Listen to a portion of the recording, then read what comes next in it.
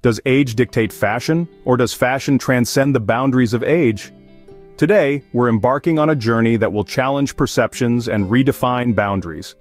Welcome to the story of Margaret Chola, a rural grandmother from Zambia who turned the world of fashion on its head. In the quiet tranquility of rural Zambia, Margaret Chola, a grandmother in her mid-80s, lived a life far removed from the glitz and glamour of the fashion world. Yet, as fate would have it, Margaret would soon become an unlikely fashion icon, known to the world as Legendary Glamma.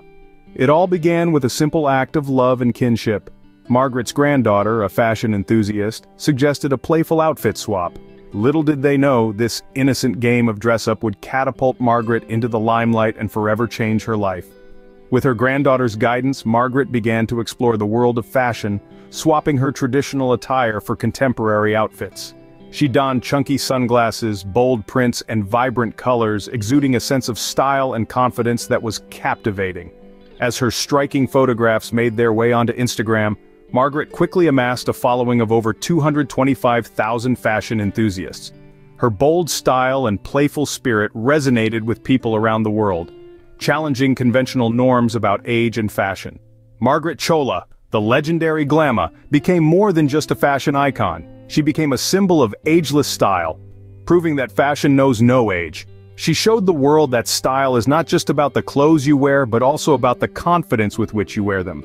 Margaret's story is a testament to the power of self-expression and the transformative ability of fashion.